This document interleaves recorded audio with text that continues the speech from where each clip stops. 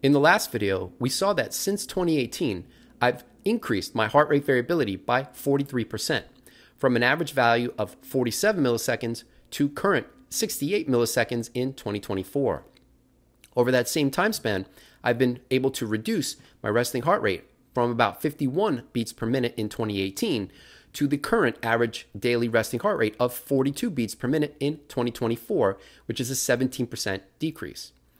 So, in today's video, we'll take a look at what might be contributing to these improvements for these two measures since 2018. Now, the most obvious place to start would be physical activity or regular exercise training. And as a measure of that, I'm going to show data for the average daily heart rate or ADHR as an index of physical activity, of daily physical activity. And that data is provided by Whoop. I'm not here to say that they're the best. That's what I've worn since 2018. More directly, we're going to take a look at the correlation for the next day resting heart rate versus the previous day's average daily heart rate. And this is exactly four days of four years of data from March of 2020 through March of 2024, almost 1500 days of data. In other words, what's the correlation for the average daily heart rate with the next day resting heart rate? And that's what, that's what we can see here. And there is a significant positive correlation between these two variables with a correlation coefficient of 0.72, and you can see that that p-value is far below 0.05. In other words, this data suggests that too much daily activity and too often will be bad for the resting heart rate.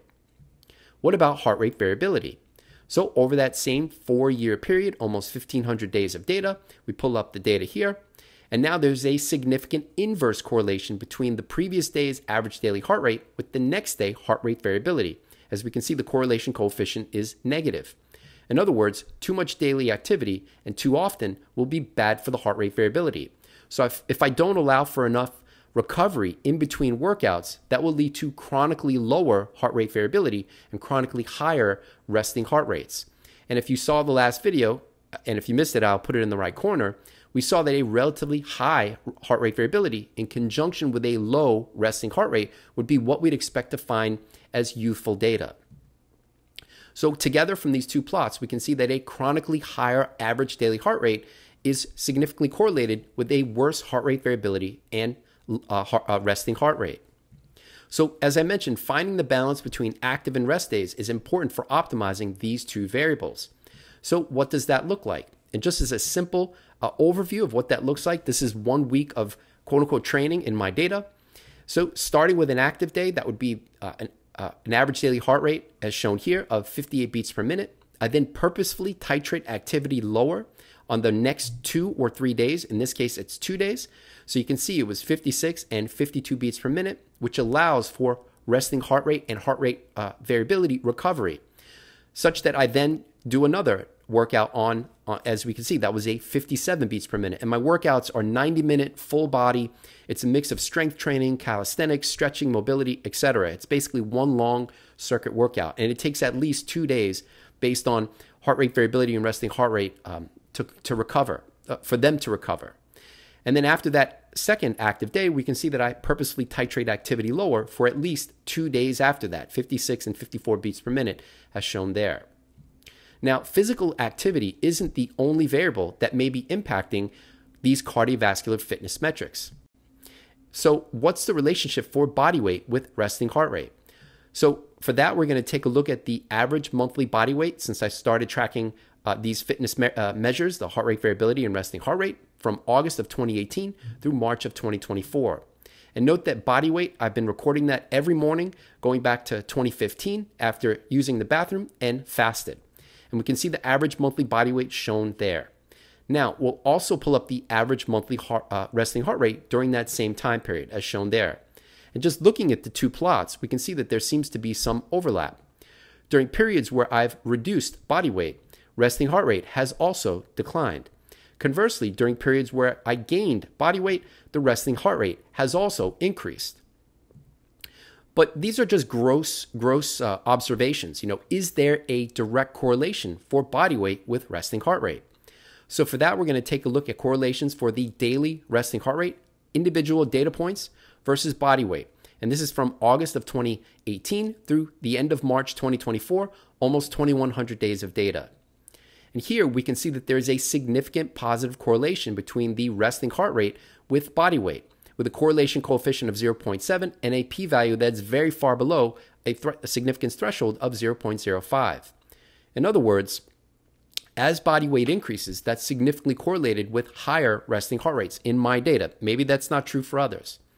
And on the other side, conversely, as body weight has approached 139 pounds, which is pretty close to where I am currently, the resting heart rate has approached 40 beats per minute. All right, what about heart rate variability? How does body weight relate to that? So now we're going to take a look at the average monthly heart rate variability over that same time span, August of 2018 through March of 2024. And here, just gross observation, it, the plots don't look as, as similar as body weight to resting heart rate, but there are some trends. During periods where body weight was reduced, heart rate variability increased. Now, that was early on, and it's not, you know, it doesn't look like a, a, a perfect uh, overlap, right? So, during the most recent three year period where I've consistently reduced body weight over that time, we can see that heart rate var- variability has consistently increased. Conversely, during a period where body weight increased, heart rate variability decreased. All right, so this is just a gross observation. What about the direct correlation? And this is over that same about 2100 day time span, which is what we'll see here. And in terms of the correlation, we can see that there is a significant inverse correlation for body weight with heart rate variability. In other words, as body weight has increased, that's significantly correlated with a lower uh, heart rate variability. And as body weight has been reduced, heart rate variability has approached relatively youthful values or closer to youthful values, 68 milliseconds. So, to address the question, what's the relationship for body weight with resting heart rate and heart rate variability? From these data, at least in my data, I don't know if this is true for others, we can see that resting heart rate and heart rate variability approach youthful values as body weight decreases. All right, that's all for now. If you're interested in more about my attempts to biohack aging, check us out on Patreon, where I post day to day data for uh, resting heart rate, heart rate variability, and a whole bunch of other stuff. We've also got dis- discount links that you may be interested in, including discount links for epigenetic and telomere testing, NAD quantification, oral microbiome composition, at home metabolomics, at home blood testing with SiPhox Health, which includes ApoB, but also now GrimAge, green tea, diet tracking with Cronometer, or if you'd like to support the channel, you can do that with the website Buy Me a Coffee. We've also got merch, so if you're interested in wearing the Conquer Aging or Die Trying brand, as I've got on here, that link and all of the other links will be in the video's description. Thanks for watching. I hope that you, I hope that you enjoyed the video. Have a great day.